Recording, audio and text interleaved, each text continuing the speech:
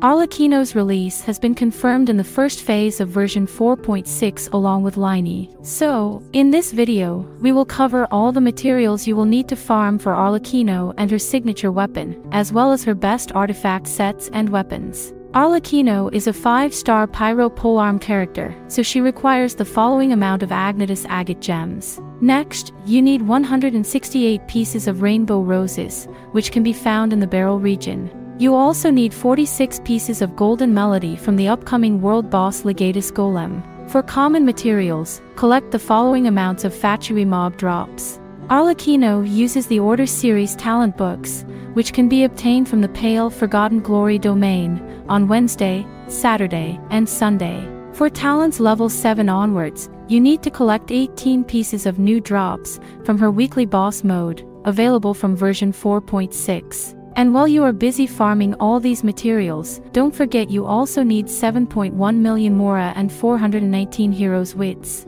Her signature weapon is a pole arm called Crimson Moon Semblance, which in Arlecchino's hands turns into a scythe. You need two types of monster materials for her weapon's ascension. First is, gear drops from Clockwork Meka. And the second, hilt drops from Praetorian Golems.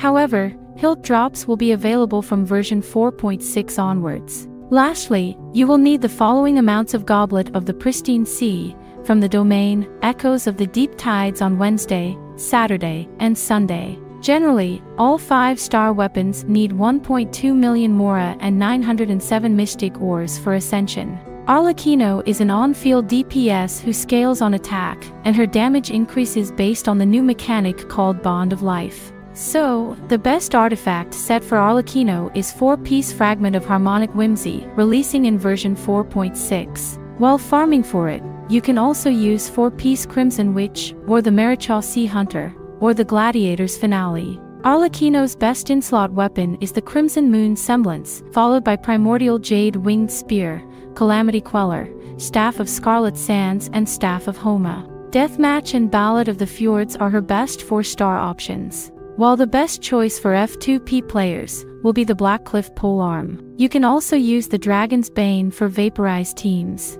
And if you don't have any of the above mentioned weapons, White Tassel is also a great option. That wraps up our Arlecchino's farming guide. How many Primogems have you saved for Arlecchino? Let me know in the comments below. All the best for your Arlecchino polls.